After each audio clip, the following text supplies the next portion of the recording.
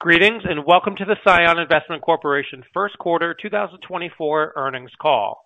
At this time, all participants are in a listen-only mode. A question and answer session will follow the formal presentation. If anyone should require operator assistance during the conference, please press star zero on your telephone keypad. As a reminder, this conference is being recorded.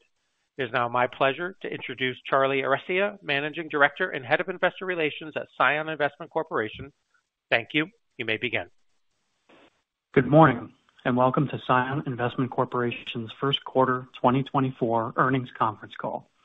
An earnings press release was distributed earlier this morning before market open. A copy of the release, along with a supplemental earnings presentation, is available on the company's website at www.cionbdc.com in the Investor Resources section, and should be reviewed in conjunction with the company's Form 10-Q filed with the SEC. As a reminder, this conference call is being recorded for replay purposes. Please note that today's conference call may contain forward-looking statements, which are not guarantees of future performance or results and involve a number of risks and uncertainties. Actual results may differ materially from those in the forward-looking statements as a result of a number of factors, including those described in the company's filings with the SEC. Joining me on today's call will be Michael Reisner, CION Investment Corporation's Co-Chief Executive Officer, Gregg Bresner, President and Chief Investment Officer, and Keith Franz, Chief Financial Officer. With that, I would like to now turn the call over to Michael Reisner. Please go ahead, Michael. Thank you, Charlie, and good morning, everyone. We reported another strong quarter this morning, continuing our momentum from 2023. The earnings power of our conservatively positioned portfolio remained robust, generating an annualized net investment income ROE of approximately 15% in Q1. Since our direct listing in 2021, CION has continued to generate a strong net investment income ROE, in line with many of our BDC peers that are trading at or above their net asset value. While our net asset value declined modestly quarter-over-quarter, driven mostly by unrealized mark-to-market adjustments in the equity portion of our portfolio, we have grown net asset value over 6% versus the same quarter last year, driven by sustained earnings, disciplined portfolio management, and accretive share repurchases. Net investment income for the quarter totaled $0.60 per share, up sharply from $0.40 last quarter, driven by strong underlying performance of our portfolio companies and yield-enhancing provisions that we noted on our previous earnings call and realized during the quarter. As a result, we once again outearned our base dividend of $0.34 per share in the quarter. Given our strong distribution coverage and outlook for the long-term earnings power of our portfolio, I am pleased to announce an increase to our quarterly base dividends to $0.36 per share, up from $0.34 last quarter. Additionally, as mentioned on our last call, we intend to declare a supplemental dividend next month. Underlying credit performance in our portfolio remains strong in Q1, with non-accruals improving at 0.86% of fair value. At a high level, we remain optimistic about the credit performance in our portfolio, with only 1% of our portfolio risk-graded 4 or 5 on our internal risk rating scale. With recent Fed commentary suggesting that interest rates may remain elevated for longer, there is a persistent focus on closely monitoring the underlying fundamentals of our borrowers. Our portfolio remains highly diversified and largely avoids cyclical industries that would be more susceptible to a broader economic slowdown. Our borrowers remain fundamentally healthy, with stable EBITDA trends and a weighted average interest coverage ratio of 1.98 times and weighted average leverage of 4.98 times. We remain conservatively levered on a net basis at 1.03 times, down from 1.1 times in the previous quarter, and we have ample liquidity on hand to take advantage of new investment opportunities. We remained active repurchasers of our common stock during the quarter, buying back about 424,000 shares at an average price of about $11 per share, for a total repurchase of approximately $4.7 million. This represents a significant acceleration from last quarter's buyback activity. We believe our stock remains deeply undervalued, given the resilience of our credit performance and strong operating performance. More broadly, many traded BDCs are trading at or near the high end of their historical ranges on a price-to-NAV basis, potentially limiting upside for investors, while CION continues to generate an attractive, well-covered dividend yield and offers a compelling total return opportunity. We expect to remain active in repurchasing shares in the coming quarters.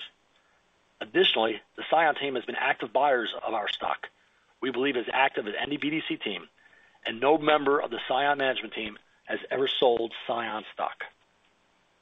Looking at the space more broadly, many investors and analysts have focused on the outlook for returns for BDCs, given increased competition for deals and the resulting erosion of more lender-friendly conditions. While we have certainly observed these trends in larger deals, we believe our middle market focus has generally insulated CION from the spread compression and looser covenants that have characterized larger, more commoditized deal opportunities.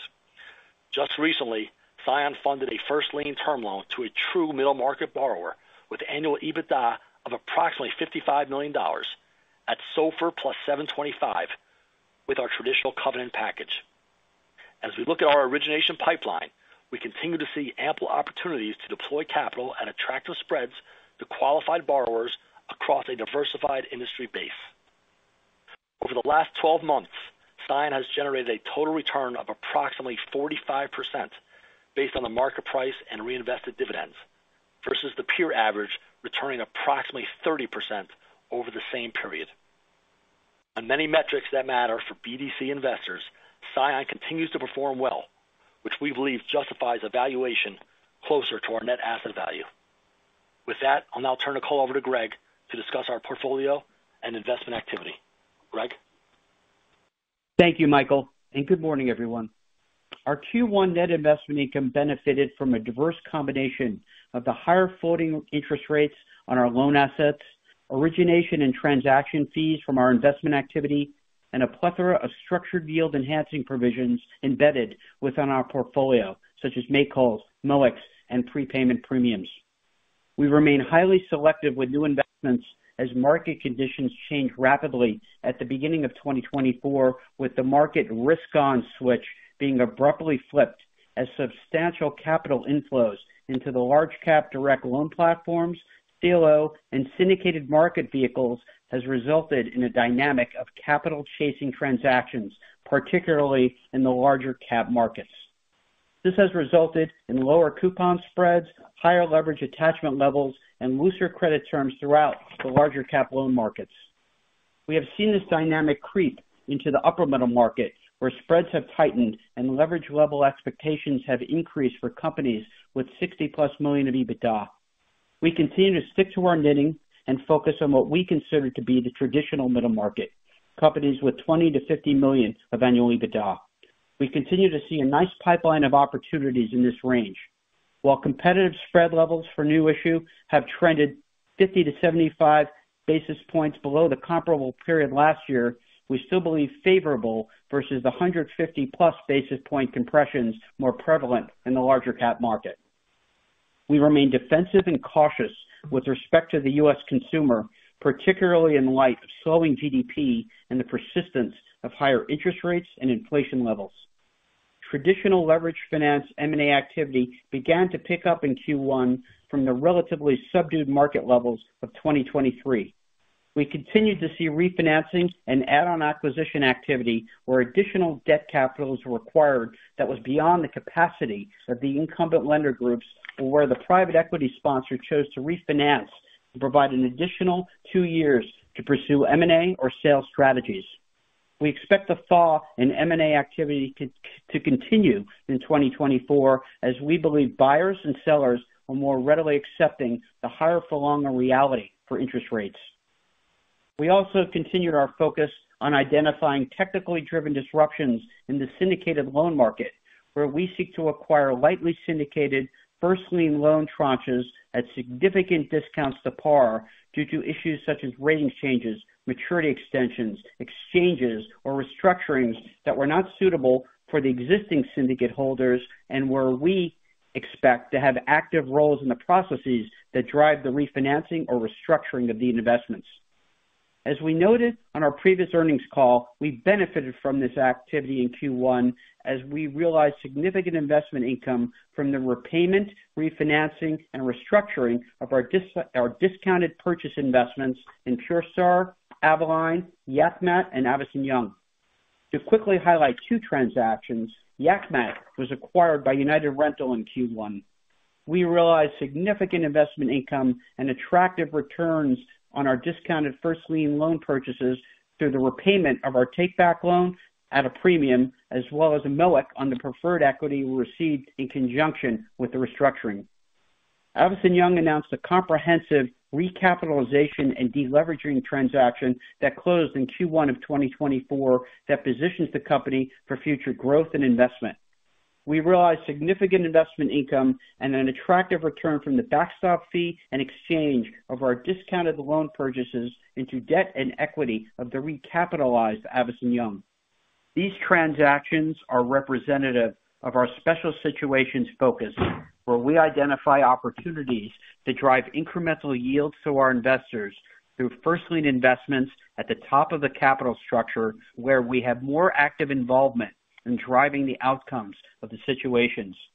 We additionally continue to utilize secured yield enhancement provisions such as PIK features, call protection, make-whole provisions, and MOICs to incrementally enhance yields at the top of the capital structure, rather than reaching deeper into riskier capital structures for mezzanine and equity co-investments to achieve incremental investment yield.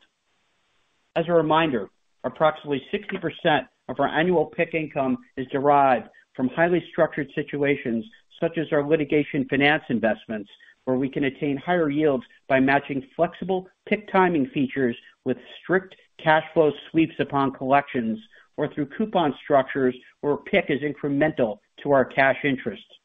Over 80% of our PIK investments are in portfolio companies risk-rated either 1 or 2, and 99% risk-rated 3 or better. Turning now to our Q1 investment and portfolio activity.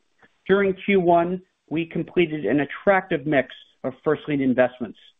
We completed private direct first lien financings for new portfolio companies, alongside several of our longtime club partners with whom we have had we have completed many successful investments together. These transactions include Key Impact, American Family Care, and Rydell, where we acted as either a co-lead arranger or impactful partner. We also completed refinancings and add-on investments for portfolio companies, including American Lawyer Media, OptioRx, and Rogers Mechanical. The weighted average coupon for our direct investments in new portfolio companies was approximately SOFR plus 6.3% for the quarter. During Q1, we made 125 million in new investment commitments across 5 new and 7 existing portfolio companies, of which 107 million was funded. These investments were diversified across new and add-on opportunities, with approximately 50% in direct private investments for new portfolio companies. We also funded a total of 4 million of previously unfunded commitments. We had sales and repayments totaling 207 million for the quarter, which primarily consisted of the full repayment of our debt investments in AmPac, Services Compression, Pentec, and R.R. Donnelley. The full repayments were back-ended, with nearly half occurring at or within the last several weeks of the end of the quarter. As a result, net funded investment activity decreased by approximately 96 million for the quarter. We expect the active repayment trend to continue in 2024, as strong cash inflows into direct and syndicated loan funds will likely fuel refinancing and repayment activity. We are pleased with our portfolio's continued performance, as non-accruals declined slightly from 0.89% of fair value at the end of Q4 to 0.86% of fair value at the end of Q1.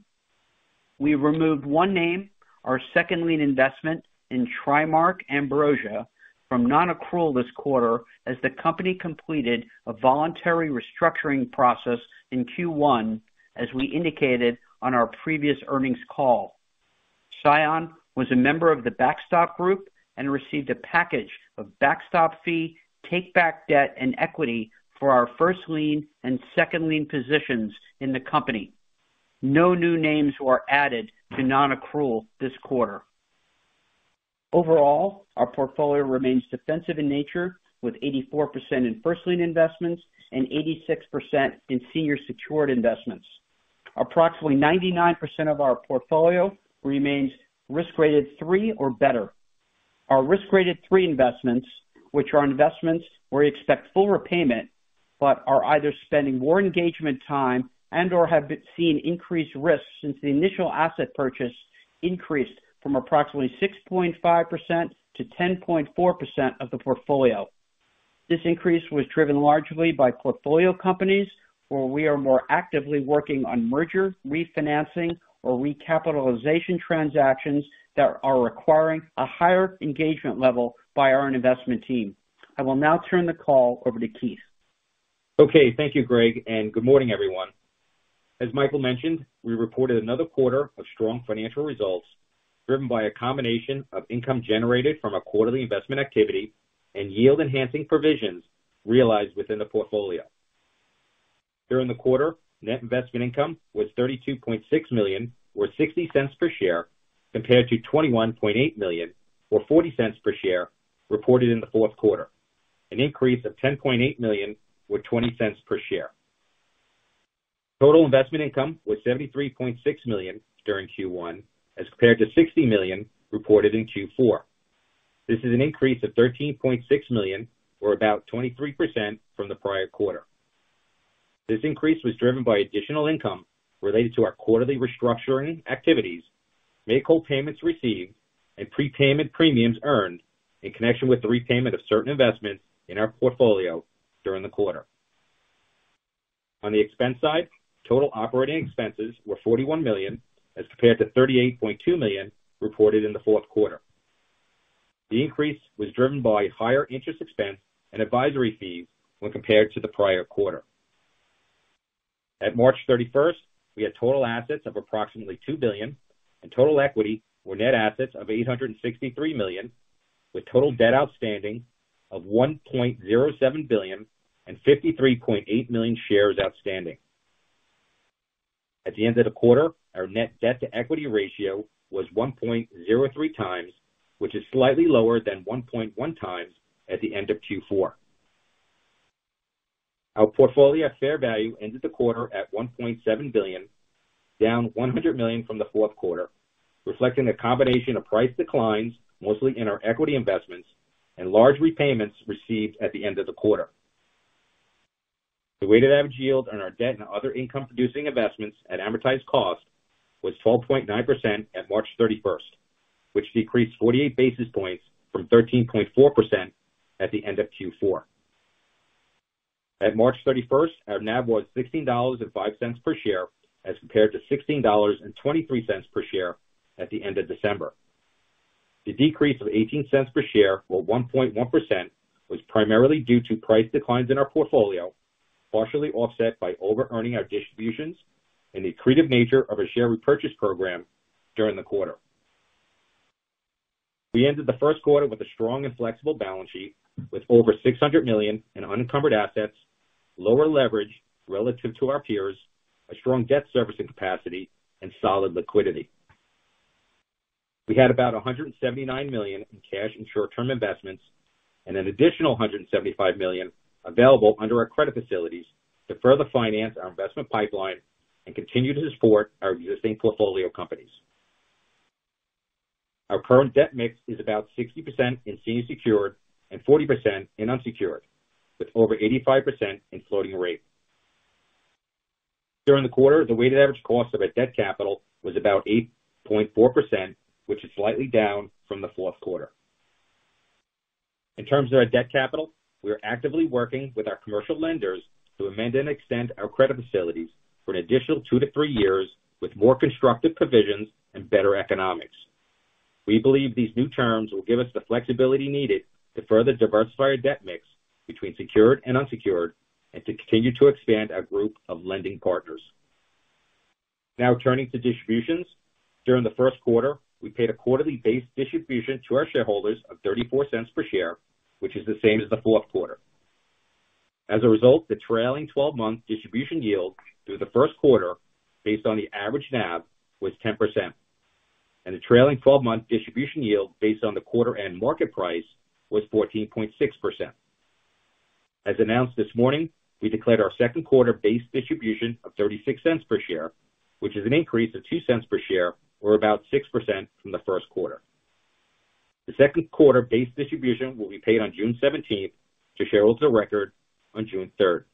This is now the fourth time we have increased our quarterly base distribution since we listed back in October 2021, raising the base distribution by $0.10 per share with 38%, from $0.26 per share to $0.36 per share.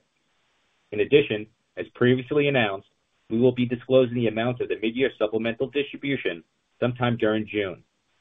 The mid-year supplemental distribution will be paid on July 12th to shareholders of record on June 28th. Okay, with that, I will now turn the call back over to the operator, who will open the line for questions.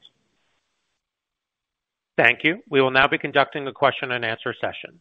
If you would like to ask a question, please press star one on your telephone keypad. A confirmation tone will indicate your line is in the question queue. You may press star two if you would like to remove your question from the queue. For participants using speaker equipment, it may be necessary to pick up your handset before pressing the star keys. One moment, please, while we poll for your questions. Our first questions come from the line of Erik Zwick with Hovde Group. Please proceed with your questions. Thanks. Good morning, everyone. Um, you noted in the prepared remarks that there were a number of uh, transactions in the quarter that drove um some some some revenue from you know realization fees and exit fees and things of that nature. Curious if you could kind of quantify um, that revenue that occurred in 1Q that would you know not be expected to occur in 2Q, you know, fully understanding that there could be additional transactions going forward as well. Yeah, Erik, good morning. It's Keith. In terms of some of the transaction income and the restructuring income that we had during the quarter, it was about uh, between uh, $7 million and $8 million in total. Okay, great. That's helpful. Um, and then you you know continue to note that you look to diversify um, your your funding and from from that perspective, uh, both in terms of the mix. Um, you know, curious, you mentioned also Um, desire to extend some of your current facilities and wondering if that uh, 30 million unsecured term loan that matures at the end of uh, the 3Q is um, one that you're looking to extend, and then also you know whether your preference today for any new kind of funding would be um, if you have a preference in terms of fixed or floating, kind of given where we are in the uh, interest rate cycle at this point. Yeah, at this point, you know, we continue to evaluate opportunities within the capital debt capital market. So we're evaluating everything at this point, but right now the focus is to uh, continue to work with our commercial banking lenders to get those two facilities uh, extended. Got it. Thank you. Um, and then last one for me. Um, you know, you've done a commendable job working down the non-accrual list over over the past year, and it's also good to see that the percentage of investments on your internal rating uh, that have four or five have decreased as well. I'm actually a little bit curious about the um, top end of the rating uh, scale. It looks like in 4Q you had one or more investments that were upgraded to one uh, and may have been kind of downgraded maybe back to where they were prior uh, based on the Q1 profile. So curious kind of what happened there in that one category. Yeah, I think this is Michael. How you doing? Um, the ones we only really upgrade something to one when we have knowledge of a loan that's going to be exited So we for the reporting period. So you should expect most of our names will be two when we do a deal and only upgrade it to a one if we have knowledge of something that's going to happen to that name. Got it. That makes sense. So given kind of the transactions that were reported here in 1Q, you had pretty good sense of that uh, in 4Q, so they're upgraded. Perfect. That's all for me today. Thank you. Yep, thank you. Thank you. This concludes our Q&A session. I would now like to turn the floor back over to Michael Reisner for closing remarks. Thank you. You know, in closing, I just want to reiterate that CION continues to perform well and that we believe the current discount to NAV remains unwarranted. On a total return basis, based on the market price, CION ranked in the top 10 of 42 publicly traded BDCs over the past 12 months. A similar analysis based on NAV rather than market price places CION in the top five total return metrics over the same time period. We are focused on building a durable franchise here at CION that seeks to deliver strong results in all market environments. We look forward to speaking to you again next quarter. Thank you. Thank you. This does conclude today's teleconference. We appreciate your participation. You may disconnect your lines at this time. Enjoy the rest of your day.